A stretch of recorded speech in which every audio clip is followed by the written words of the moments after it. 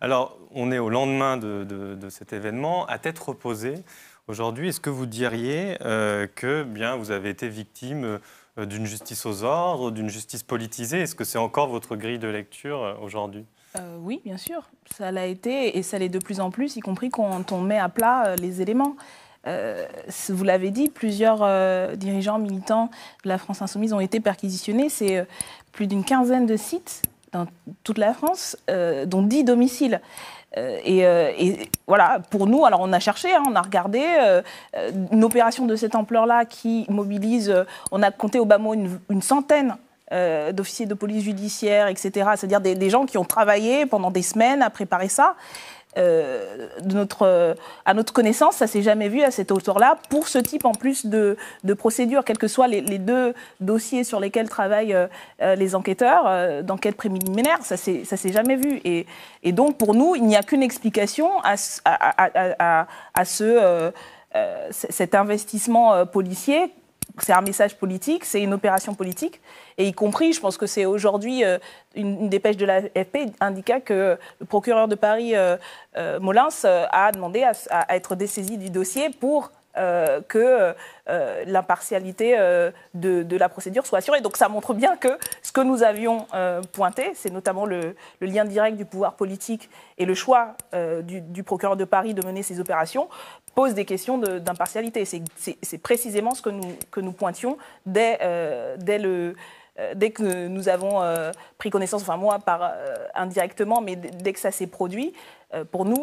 c'était tout de suite une, une, une, attaque politique, quoi, une, opération politique. Alors, j'entends bien ce que vous dites, mais alors, si on met de, côté justement ces modalités-là, la perquisition simultanée, le nombre de policiers, euh, on voit qu'il y a quand même eu euh, des précédents euh, de perquisitions dans, des domiciles de politiques. Par exemple, quelqu'un comme Jean-François Copé a subi des perquisitions. D'ailleurs, il a été blanchi. C'est l'enquête Big Malion qui frappait la droite à ce moment-là. le cas d'Alexis Kohler à l'Élysée, il a été perquisitionné à l'Élysée même. donc, est-ce que c'est si on met de côté voilà, ces modalités particulières des, des perquisitions simultanées, est-ce que ce n'est pas illégitime que la justice aille faire des vérifications sur de l'emploi de l'argent public? Oui, bien sûr. Mais encore une fois, mettre de côté les modalités, c'est passer à côté d'une partie du problème. Encore une fois, là, de quoi on parle? Dans les deux dossiers, il s'agit d'enquêtes préliminaires. Alors, Donc, je, rappelle juste pour, ceux qui, nous écoutent, je rappelle juste, il y a un dossier, une enquête préliminaire effectivement sur euh, les euh, les assistants parlementaires européens, à savoir est-ce que l'argent était bien utilisé pour des tâches européennes. Et puis l'autre dossier, euh, c'est sur, euh, sur les comptes de, campagne et des soupçons de surfacturation de la part de certaines sociétés. Et dans ces deux dossiers-là, d'autres responsables politiques euh, sont concernés. Puisque pour, par exemple la question des assistants et assistantes parlementaires au niveau européen, il y a plus d'une dizaine d'eurodéputés, parmi lesquels je crois Yannick Jadot, Pascal Le Yarrick, euh, une, membre du Modem, Marielle de Sarnez. Euh, c'est d'ailleurs pour ça qu'elle avait euh, démissionné du gouvernement. Donc tous ces autres, il y, a une vingtaine de députés qui sont concernés. à ma connaissance encore, peut-être vous allez me contredire, mais aucun n'a fait l'objet de perquisition à leur domicile dans ces conditions-là, d'une part. Et sur la question des comptes de campagne, encore une fois, le compte de campagne de M. Macron a été signalé également. Euh, le procureur avait choisi euh, de euh, ne pas poursuivre quand la, plainte a été faite par Anticor. Mais encore une fois, il y a eu un signalement de la, même nature. la plainte d'Anticor touchait ah, plusieurs candidats, dont Emmanuel mais, Macron. Voilà. Mais comme par hasard, quand la plainte a été faite, elle, n'a pas été, elle, a été classée sans suite. Mais encore une fois, un autre compte a été signalé et vous n'avez pas entendu dire que le domicile de M. Macron a été perquisitionné, ni euh, le siège de campagne de la République en marche. Donc je, pense que si on ne peut pas mettre de côté les modalités si on prend les choses les affaires dont vous parlez ne sont pas de la même nature, y compris parce que dans plusieurs affaires, il y a euh, euh, une instruction qui est menée et pas simplement une enquête. Et ce que nous pointions justement sur le problème des perquisitions et sur les manières dont ça a été fait, sans qu'il y ait par exemple de PV, c'est que euh, à, un moment donné, quand il y a des perquisitions qui peuvent être menées et demandées, il faut au moins la présence de la personne qui est présente, etc. Donc nous, ce que nous pointons, c'est pas simplement les brutalités, c'est la disproportion. Et, ça, en matière euh, de droit, justement, la disproportion témoigne euh, d'un choix politique, euh, le fait d'utiliser des procédures dérogatoires nous, nous alors on, peut dire, et, ça a certainement été dit, que c'est parce que c'est nous qui sommes visés que tout d'un coup on s'en rend compte. Ce n'est pas vrai. Ce n'est pas vrai. Nous, euh, moi, j'ai commencé euh, à l'Assemblée nationale sur un texte, pas des moindres, qui a été le texte sur euh, la lutte contre les actes de terrorisme et de sécurité mmh. intérieure, où tous, tout cela, nous l'avons dit et défendu, pas pour nous à l'époque, on n'y était pas encore, mais pour tous les citoyens et citoyennes, en disant que plus la justice utilise des, des, des procédures d'exception, des procédures dérogatoire, tout le monde, tout le monde va devenir euh, perquisitionnable euh, comme ça par le fait du prince. Donc, je pense que c'est important de reposer ça dans ce contexte. Donc, non seulement c'est pas simplement euh, par rapport à nous, mais c'est dire là, il y a un fait du prince, un pouvoir politique qui, quelques semaines avant, assumait le fait que par le parquet, c'était un choix politique de désigner telle ou telle personne un membre du parquet, le procureur lui-même, qui reconnaît en fait aujourd'hui qu'il n'y a pas impartialité, ou en tout cas sa présence et le fait que ce soit lui qui suive le dossier pose des questions d'impartialité, donc qui confirme euh, notre diagnostic politique. Alors, on va vous poser une question sur, cette question partialité-impartialité. Euh, une, dernière question peut-être sur le fond euh, de, l'affaire. Est-ce qu'il n'y a quand même pas un enjeu de transparence euh, euh, auquel on n'a pas encore de, vraies réponses. Euh, je m'explique, c'est-à-dire que la question, ce n'est pas les factures. Là, je crois que Jean-Luc Mélenchon a dit bah, les factures, nous, on les, on les rend publiques, il n'y a pas de souci avec ça.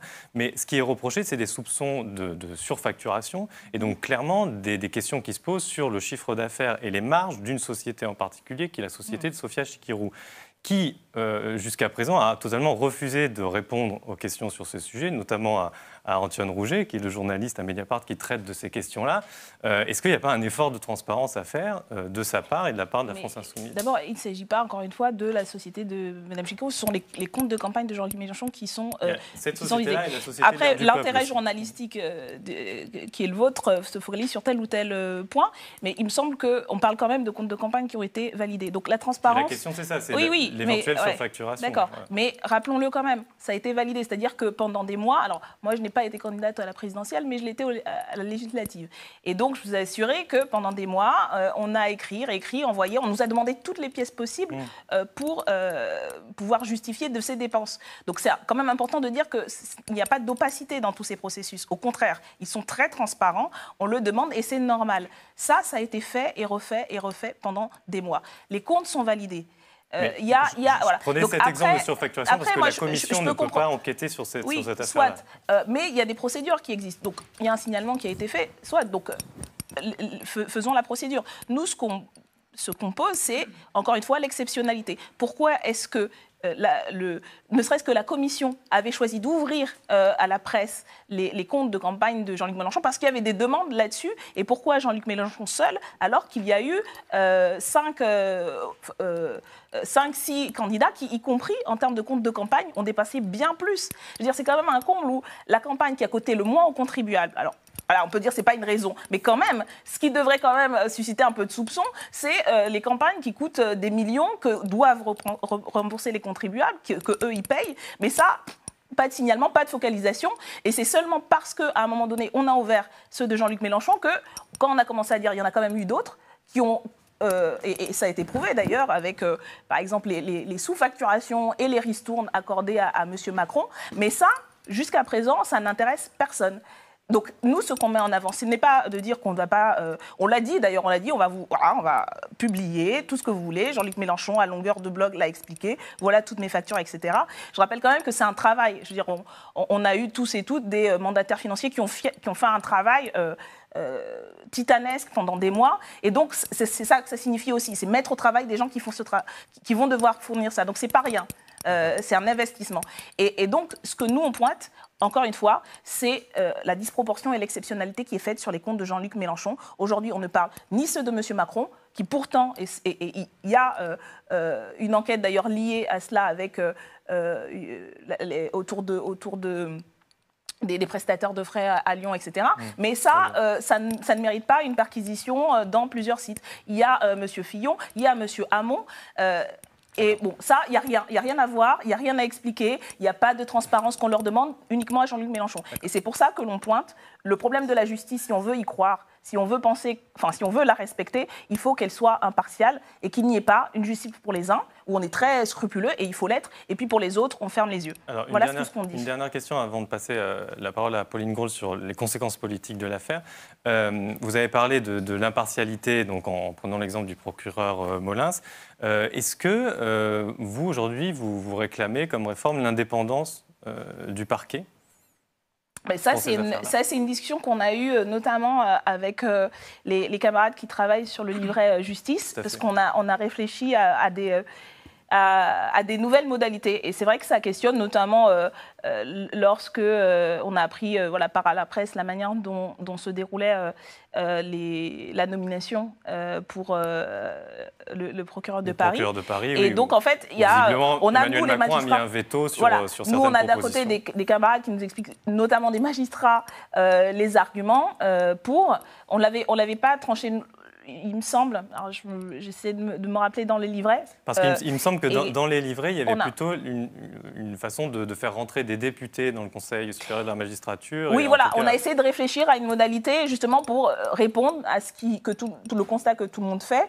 Euh, tout en ayant en tête le fait qu'on puisse assumer euh, de dire, euh, mais quand il y a une orientation politique, les, procureurs qui représentent l'État, etc., doivent pouvoir doivent traduire cette orientation politique. Donc c'est pas une indépendance oui, mais voilà, mais, mais c'est un vrai débat, c'est un vrai mm. débat et qu'on considère tout à fait légitime et dans lesquels on a des arguments, on a des, des camarades qui, qui sont pour, très pour. Euh, et là, justement, on a fait ce travail depuis un an avec Hugo Berlanicis, avec euh, les, amis et camarades qui travaillent euh, dans l'équipe thématique justice. au fur et à mesure aussi des dossiers qu'on a eu à traiter, des, questions auxquelles on était confrontés, parce que justement le programme La France Insoumise, c'est un programme pratique, concret, et, donc je pense que là on essaie d'arriver à des, voilà, en tout cas à une évolution, parce qu'effectivement, le statu quo, il est euh, insatisfaisant euh, à ce niveau-là. Et donc, euh, donc voilà, on écoute, on lit ce que disent les uns et les autres, et, et, on, et on, formulera les propositions. Là, je ne peux pas vous dire quelle est la proposition, parce que ce n'est pas quelque chose qui a été encore décidé, mais ce qui est sûr, c'est que bien sûr qu'on est interpellé là-dessus, et on pense que dans tous les cas, la manière dont ça se passe et dont ça s'est passé est problématique. Mmh. Alors on va écouter euh, Pauline Gros et je crois qu'il va y avoir une petite intervention sur vos boucles d'oreilles pour le, pour le son, voilà, on, peut le dire. voilà, voilà, on vous suggère de les enlever même, voilà, on peut le dire. C'est la magie du direct, voilà. Euh, Pauline, euh, tu peux enchaîner sur Alors, donc c'est une, question plus politique, hein, donc on a, vu, on a vu le volet de l'enquête. politiquement, est-ce que c'est une séquence que vous trouvez positive? De se faire perquisitionner euh, Non, toute la mise en scène. On a vu hier énormément de vidéos ont tourné. Jean-Luc Mélenchon euh, s'est filmé en mode euh, selfie chez lui pendant la perquisition. Comment, comment on non, c'est positif pour personne. Enfin, bien sûr, il faut s'imaginer euh, la violence que c'est, l'intrusion que c'est dans l'intimité des gens, des camarades, euh, y compris des camarades qui, ont, qui, ont, qui, ont, qui, militent depuis euh, suffisamment d'années pour être cadres et dirigeants, mais qui n'ont pas cette expérience-là d'intrusion de, de, à 7 h du matin. Il y a, des il y a les, les, enfants qui dorment. Et puis, justement, la, la disproportion des moyens, c'est des hommes en armes avec des gilets. Enfin, c'est une violence énorme. après, il y a eu donc, donc, donc, non, je, personne ne peut trouver ça positif. De manière générale, bah, de se faire perquisitionner, mais encore une fois, bon, il y a des procédures, on, peut comprendre, mais, mais la, non, euh, voilà, cette violence-là et la réaction, et c'est pas une mise la réaction euh, qui s'est construite voilà, au fur et à mesure, parce que c'est pas quelque chose qu'on n'avait pas prémédité, euh, que ça allait se passer, donc on allait faire ça, etc. La réaction qui s'est construite, ça a été une réaction qui a, qui, a voulu euh, justement ne, pas rester dans quelque chose ni d'individuel, euh, ni d'éclaté, où les gens, du coup, ils sont impuissants, mais essayer de reprendre un peu de maîtrise et de contrôle. Alors, on y est plus ou moins bien mmh. arrivé, euh, justement parce que c'était pas une mise en scène préparée Jean-Luc Mélenchon a quand même appelé les insoumis. oui, et donc ça, c'est les réflexes. Après, ça, c'est les réflexes militants, où quand il se passe quelque chose et, on, on, appelle à une mobilisation des gens. Donc ça, voilà, ça, ça fait partie un peu de essayer euh, que euh, les gens viennent pour soutenir, euh, pour se dire, bon, ça va. Donc oui, c'est une, réaction politique qui se veut politique justement pour ne pas rester dans ce, moment extrêmement déstabilisant, extrêmement violent pour les personnes qui l'ont subi. Voilà, des, gens qui, les personnes qui, qui, sont, qui, travaillent et qui, qui, donnent de leur temps militant, parce qu'on a, pour les trois quarts des personnes qui étaient présentes dans, dans, ce local, ce sont des militants et des militantes. Mmh. et, et qui, qui, n'ont jamais vécu ce genre de choses, qui n'ont pas euh, y compris les réflexes ou les, références juridiques pour savoir qu'est-ce qu'on a le droit ou pas. Enfin voilà, c'est donc c'est pas non, c'est pas c'est pas du tout quelque chose euh, euh, ni qu'on a souhaité ni qu'on a voulu et qui a été souhaité quand même. Jean-Luc Mélenchon a filmé de lui-même. Non non, mais qu'est-ce qui a été On n'a pas souhaité être victime de ce que nous on appelle et qu'on considère être comme une, une, une, attaque politique derrière une procédure judiciaire et on n'a pas souhaité l'être. On a réagi de la manière la plus politique possible. C'était la première fois euh, qu'on voyait ça quand même. Hein. Oui, mais justement, voilà, parce qu'à un moment donné, je pense que peut-être que de, de, de nous, on a toujours eu, et pour le coup, c'est pour ça que euh, la question de la transparence, je pense que s'il y en a bien euh, qui, même pas, pas, que sur ce sujet, mais sur tout un ensemble de sujets, essayons de, de d'en faire un outil politique parce que pour nous c'est pas c'est pas de la communication de dire on est transparent pour transparent euh, ça, c'est un outil politique parce que c'est une manière que euh, qui peut aider les gens ben, à se à s'approprier la politique à comprendre ce que c'est. Euh, voilà donc c'est comme c'est encore une fois une, une, manière, là on l'a fait, ben voilà, sous, sous, sous le coup de, de, de, de l'attaque, de manière plus ou moins désordonnée. Moi j'étais à l'Assemblée nationale, je suis revenue, les uns et les autres on est revenus, voilà. Et puis avec des réflexes de militants de bah, quand, quand, quand, on est attaqué de cette sorte, bah, on essaie de se, se retrouver pour, euh, pour aider à ce que ça, ça, ça, ça redescende un peu, etc. Donc c'est ça qui s'est déroulé euh, au cours de cette pas les images qui ont circulé Enfin, vous ne dites pas on aurait dû faire autrement Mais on se dit tous qu'on aurait bien sûr, mais franchement c'est comme... Euh, enfin voilà, oui, euh, on aurait préféré ne pas se retrouver devant, devant, devant la porte close. Enfin, je dis nous, enfin moi, moi j'y étais pas devant cette, porte. Je suis arrivée, du coup, je, débarquais. On avait une réunion, on avait une réunion justement pour préparer le projet de loi justice avec Hugo Bernalicis à, à l'Assemblée nationale. Donc on débarque un peu, euh, mais les, camarades, ils ont fait ce qu'ils ont pu. Mais voilà, comprenez aussi, euh, et nous on assume ça, de dire que on n'est pas des automates, on n'est pas des et, c'est extrêmement violent euh, de se retrouver euh, face euh, à une porte fermée, face à, quelque chose où, on, est on se sent, voilà, on est violenté. Et donc la réaction qu'on essaie d'avoir, c'est une réaction collective, c'est une réaction de, militants avec, avec ces réflexes-là.